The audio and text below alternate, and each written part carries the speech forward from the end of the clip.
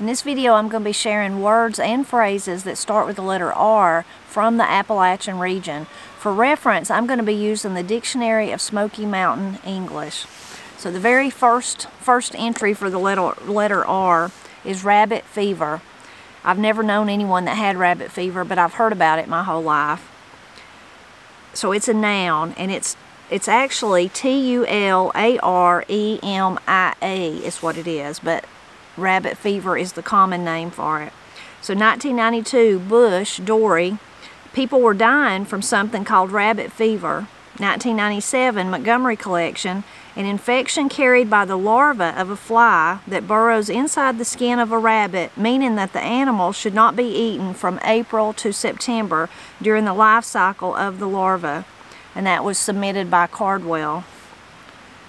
Rabbit tobacco is the next one. I bet a lot of you have heard of that.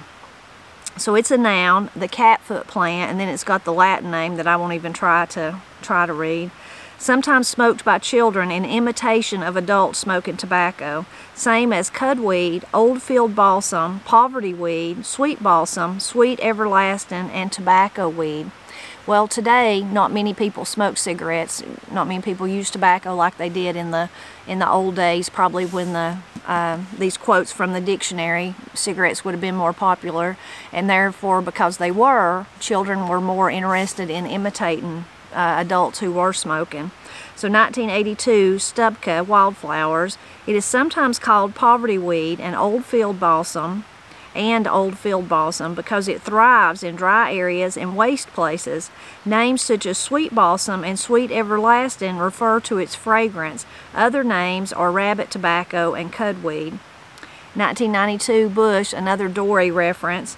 My cousin smoked rabbit tobacco, a green-gray plant that grew around the barn. So you'll often hear, hear older people here in my area of Appalachia talk about uh, either trying to smoke rabbit tobacco when they were small or someone that they knew did. Granny's even got a story about some of her cousins uh, trying to smoke it. And Granny was way too, uh, too afraid, so she ran off and left them. She didn't want to get in trouble for doing something she wasn't supposed to do. The next one is race, R-A-C-E, and it's a noun, a ditch or runway to carry water to a mill wheel operated by gravity, a mill stream, same as a mill race. 1975 Lunsford, it used to be. In all this country, there's old mill sites and dam sites where they had at one time the creek dammed up and the water ran around in a race some little distance from the creek. 1995 Mingus Mill. From here on upstream, the ground is fairly level, so a simple ditch or race is sufficient to carry the water. The walls of the race are lined with boards to keep them from eroding away. So I've never really seen a, a, race like that. It always reminds me when I hear about them though of water slides. I used to like to ride water slides when I was young. Uh, I have a video though where Don Casada shows me where an old, um, he doesn't really call it a race, but where a waterway was built, and it was primarily not talking about milling corn or something like that. It was for logging, so to push the logs down.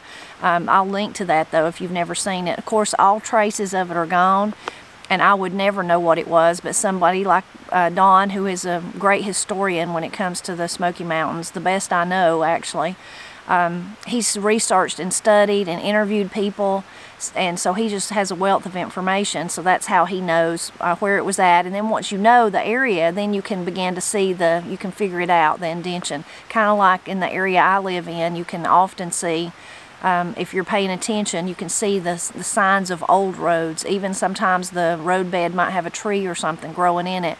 But if you're, you're looking and paying attention, you can see that it was at one time used by either wagons or maybe, like in my area, immediate area here, even by cars. The next one is a racket. Racket. And see, that one's one that I think would be common anywhere, but that's something very common in my area that someone would say if it's a noise, quit making that racket, or what's that racket? I heard a racket outside and I don't know what it is. So that's just like one of the words that immediately would come out of my mouth. Matt, I heard a racket in the basement, and would you go down there and see what it is? Or, you know, something's making a funny racket in my washing machine. I'm afraid it's about to tear up. So that one's just beyond common to me, uh, and I'm curious if it is in other places. So racket is a noun and altercation, sometimes with physical contact, a noisy fight. So, hmm, they're saying it's more a fight than just a noise like I would be more familiar with. Let's see if we can find one. 1950, Roman Mountain. I am a Scotsman when I have to spend money on a bird that likes to have a racket with me every day. I don't even know exactly what that one means. 1975, Jackson, unusual words. A racket implies more actual contact, whereas ruckus or ruckus, fraction, and fray all mean a fist fight or a gunfight. 1997 Montgomery Collection, it was known to 10 consultants and then it's got like blow, violent stroke, racket, thump, blow. So I don't know. It's interesting. They're they're more thinking of it. I mean, the dictionary's more uh, pointing it in the direction of a fight. Maybe that's the part that's fell out of fashion, and the noise part is still just really common. Raft. This is an interesting one. i am not familiar with it at all. Raft is a noun. An abundance or collection, especially of children. 1926 Wilson Cullowhee word list equals abundance. A raft is an abundance. There was a raft of children at play, so I've never heard that one. I'll be I've heard raft, of course, but not in relation to meaning abundance. I'll be interested to see if you're familiar with it. Raggedy, which just means ragged. That one again is beyond common. If you watch my videos often, I bet at some point you've heard me say something is raggedy. It looks raggedy. Uh, that's one I say. 1969 Miller Raisin Tobacco. Raggedy lugs, the bottommost leaves, thinner in texture and less gummy, were so called because of their ragged appearance since the leaves began ripening in the field at the bottom up. 1997 Nelson Country Folklore. When we got there, we were raggedy and dirty from riding in the box cars. So raggedy.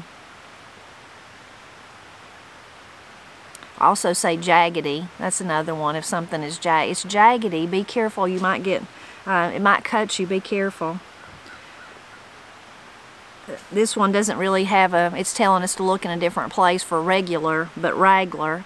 So Pap said regular like that, ragler. Just get some ragler gas and it'll be good. Or some, you know, I just like the ragler kind, not the not the uh, whatever sp special kind he might have been talking about. So that's just regular. It's just a different way of pronouncing it.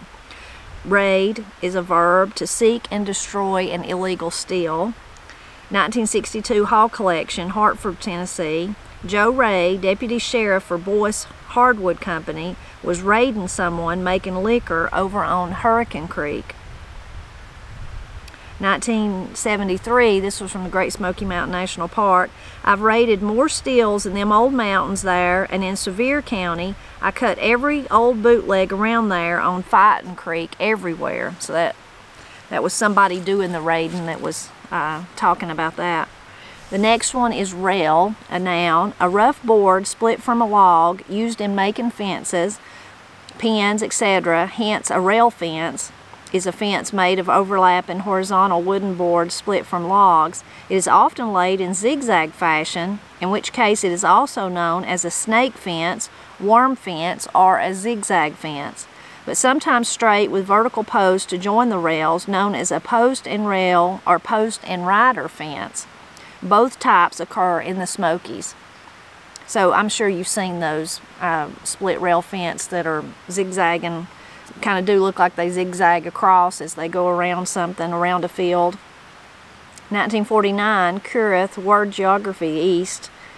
Rail fence is also widely current in West Virginia and is in regular use in the mountains farther south. 1953 Hall Collection, Bryson City, North Carolina. The place was fenced with black walnut rails used for making gun stocks. That was Granville Calhoun.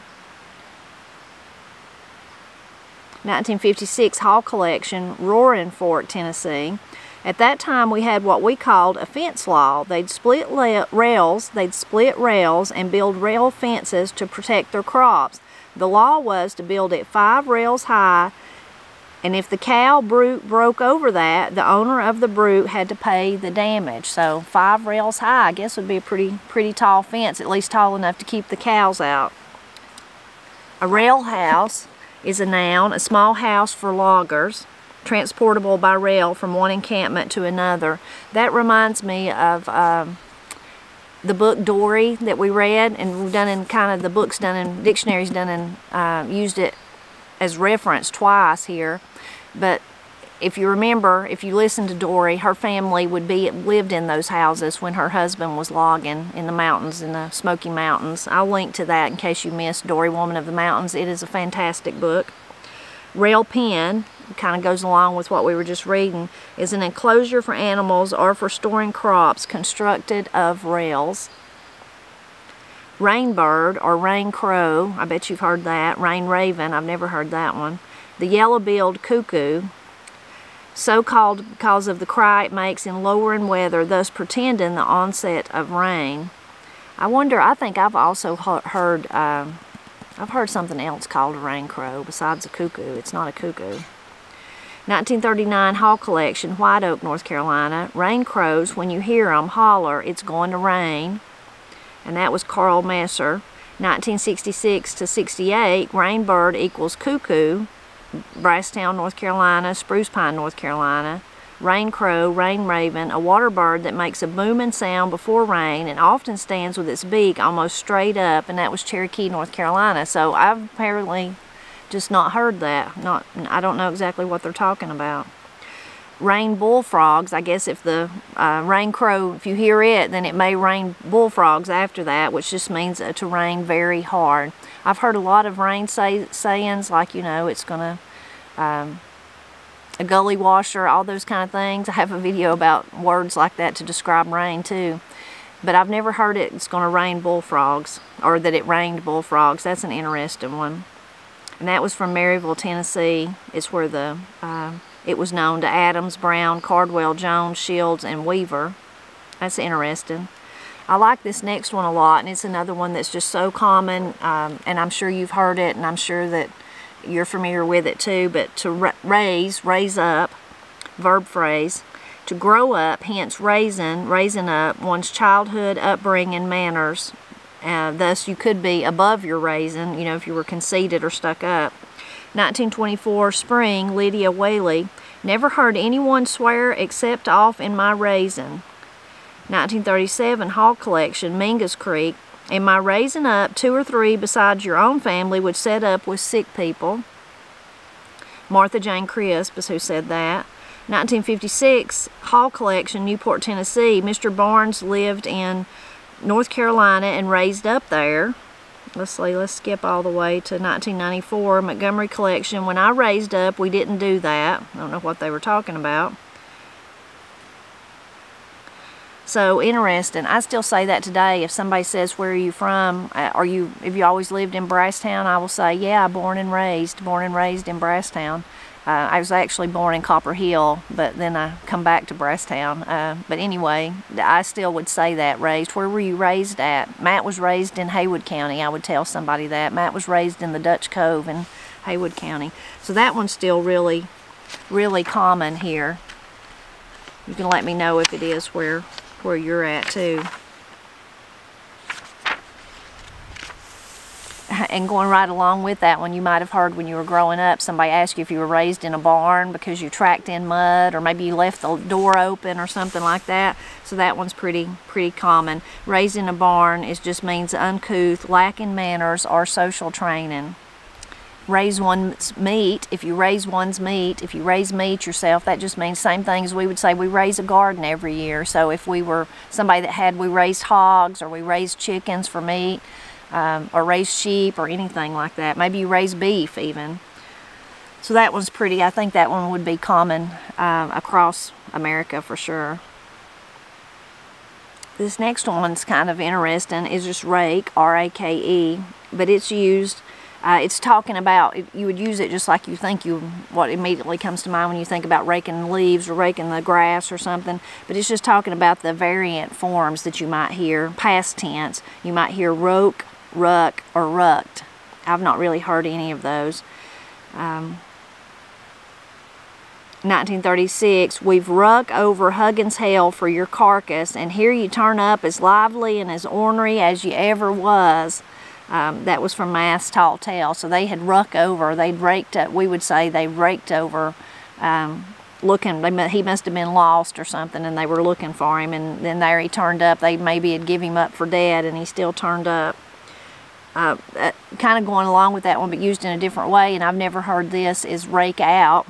So that just means to start or leave.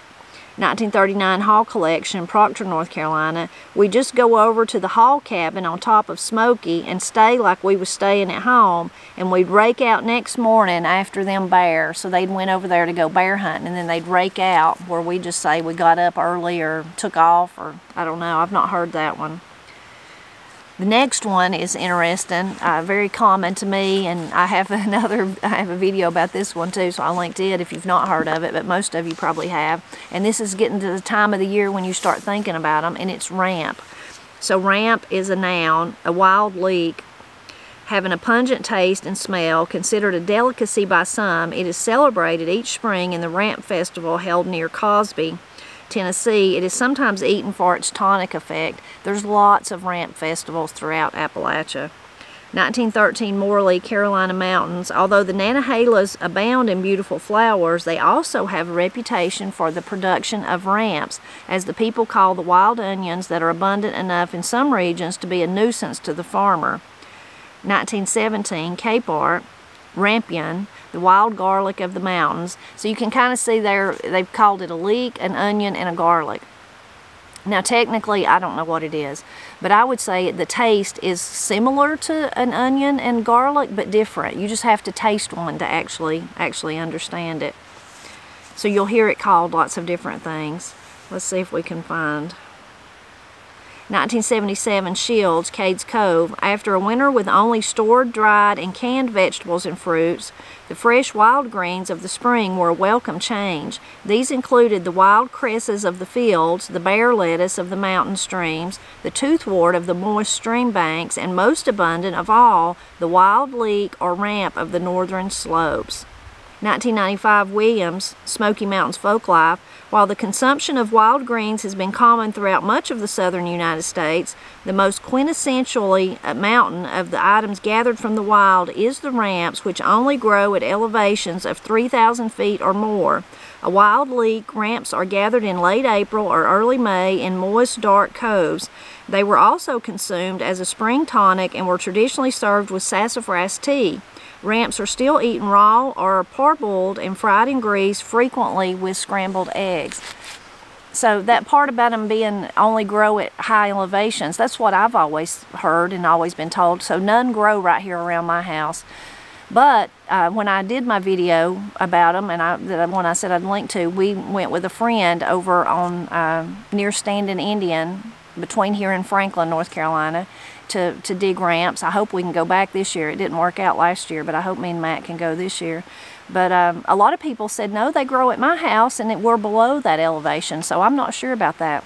Another thing, a lot of people said, well, why don't you, um, did you bring the roots back and uh, plant them? Or you could plant, you could you know, a lot of people critiqued us about how we dug them, but we did bring the roots back home and plant them, but they didn't, they didn't take for us, they didn't grow. Now Travis, the, our friend that went with us, he's dug them every year for, for years and years and years, and he said he had done that, and sometimes they do take and sometimes they don't. He just wasn't sure about it, but over the years, he's developed kind of a patch at his house and so, so then that kind of goes along with, he might be a little bit higher than we are right here. He lives more towards Hayesville, but that goes along with the, well, no, they would grow, you know, at lower elevations. Anyway, that's interesting. But ramps play a really huge role in the culture uh, of southern Appalachia.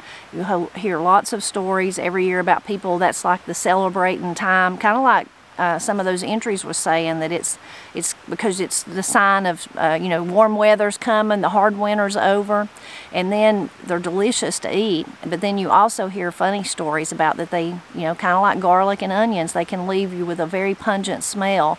So you'll hear some uh, heartwarming, you know, kind of funny but heartwarming stories about kids eating them and getting sent home from school. You have to wonder if some of them didn't do that on purpose. So they could get out of school. But lots of memories uh, surrounded ramps for sure. Me and Matt love them. We love to eat them, not necessarily raw, and we they're okay in eggs, but our favorite way to eat them is in fried potatoes. They're so good, so good. They're also good in other things, but really good in fried taters if you're a fried tater fan. So the next one is ramshackledy. Kind of goes back to those um, the jaggedy that we read and um, what other was it that I, I said, oh, it was a raggedy, and I said jaggedy's it. But kind of putting that e, that y on the end of it, we do that a lot in Appalachia. The same way we do with the est. We add est to a lot of words like fightingest or dancingest or singingest. But putting that y, um, that y sound on the end is kind of just to put some more emphasis. So it wasn't just ramshackle; it was ramshackledy. It was even more. So that just is shaky and bad repair. Montgomery collection, it was known to 10 consultants. That's really all they tell about that one in 1997. And that's still here, I would say, you know, you know down there by that little ramshackledy house that nobody lives in? Well, he lives just above that, just, just beyond that on that road. That's where he lives. The next one is Ramstudious. I've never really heard that one. I did, I think I give it to Corey and Katie in one of the tests that I give them because I think where I heard it uh, first was actually when I was in college and I took an Appalachian Studies class and we had vocabulary tests and it was on one of them. But in, in real life, I've never heard anyone say it. And it means quarrelsome. quarrelsome. If you're ramstudious, you're quarrelsome. And you're it's kind of like you got a chip on your shoulder and you just go around arguing with everybody. And that was 1939 Hall Collection uh, in Gatlinburg, Tennessee. It was known by James West Whaley. So that's an interesting one, even though I've not really, really heard it. Now this next one kind of goes along, if you're a Ramstudious person, then you might do this, is rare, R-A-R-E, rare, a verb, to become enraged, berate, call out loudly. 1922 Kephart, our Southern Highlanders, if there's liquor around and she don't get none, she just rares. So that was uh, someone that liked to drink. 1931, Goodrich Mountain Homespun. She'll be a rarin' and a ragin'. 1940, Haun Hawks Dunn. Every time anybody get down, he would rare about them killing time.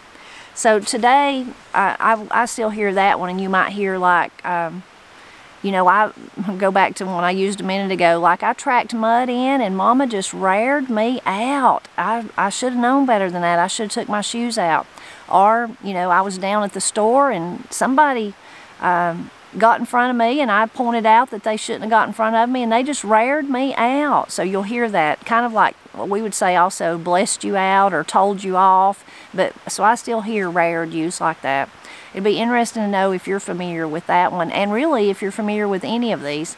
So please do leave a comment and share which ones you were familiar with, which ones you had never heard of. And as always, I hope you drop back by often so we can um, celebrate Appalachia. But for me, I'm so plumb crazy about our, I'm just plumb foolish about it really because I could just talk about it all day long about the wonderful words and phrases that you find in Appalachia.